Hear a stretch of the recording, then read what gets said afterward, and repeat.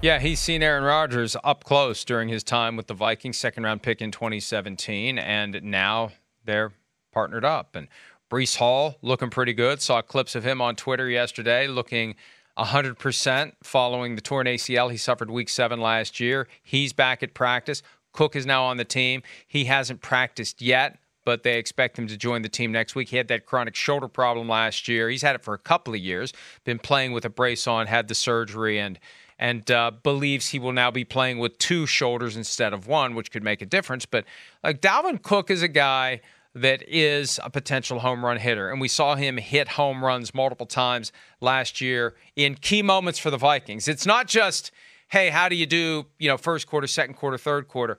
When there are moments where you appreciate the significance of it, the importance of it, and you can reach a higher level then, that is something that's going to come in handy for the Jets because one of the quotes I heard in Hard Knocks when they were talking about Aaron Rodgers, we're going to be in every game this year.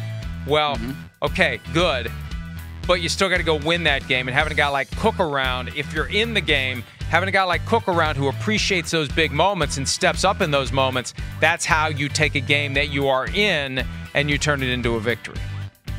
Oh, you could have. You had the rhyme right there. How do you? How do you miss the win? I specifically. I mean, it was just. It I was specifically. Ah, speci- oh, that was man. intentional.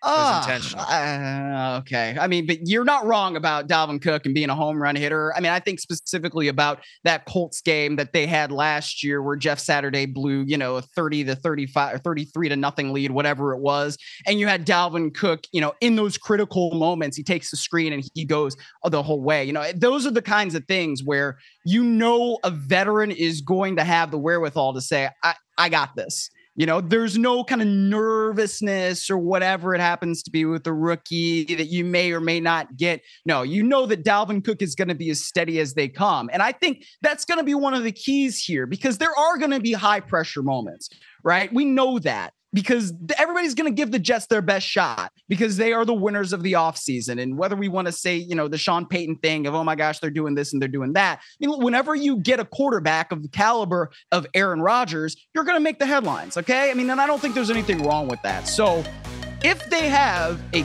key guy on offense that they can turn to in situations where you need to hand the ball off and you need that critical run, and it's a veteran and it's somebody like Dalvin Cook, I think that's a good thing. But I am interested to see how they end up distributing these reps between Cook and Breece Hall and some of the other guys that he was talking about because they do have other talented backs. This is just kind of like the cherry on top of the sundae for the offense, I think. Hi, it's Mike Florio. Thanks for watching PFT on YouTube. Hit subscribe for the latest news and analysis from Pro Football Talk.